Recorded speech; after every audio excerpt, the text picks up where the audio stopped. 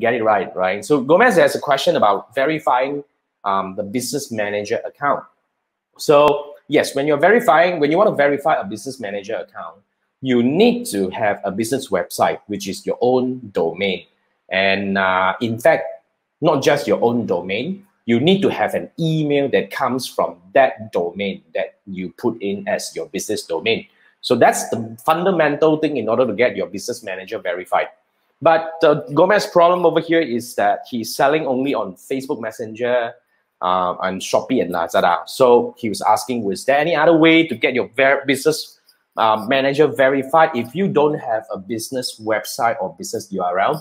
At the moment, as what I know of, you can't. This is a compulsory thing to get your business manager verified. You need to have the business domain, a website, and you need to actually change your email to the domain. As in, like, for example, if I'm using tripupacademy.com, I need to make sure I have an email which is jason at tripupacademy.com because all the notif- uh, so the verification email and all that will actually go to mine email. So that's how they verify a business manager.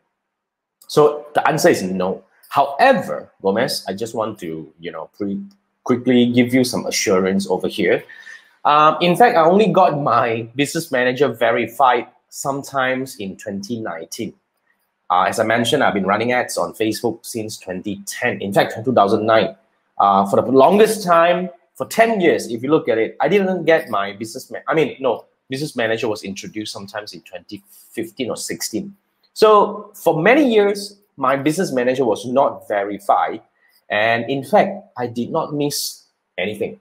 Okay, so as of what I'm looking at right now, you actually won't miss any feature if even if you don't have your business manager verified but nonetheless if you want it verified i think the easiest way is i think there are many website service providers like godaddy you can buy a domain and then uh, you can actually park it at the you know kind of like a landing page which is like a domain coming soon kind of thing. And then you can create an email address at a very very very minimal cost. I don't think it's a cost that we should avoid if you really want to run business for long term right? So that's for gomez thank you so much for your question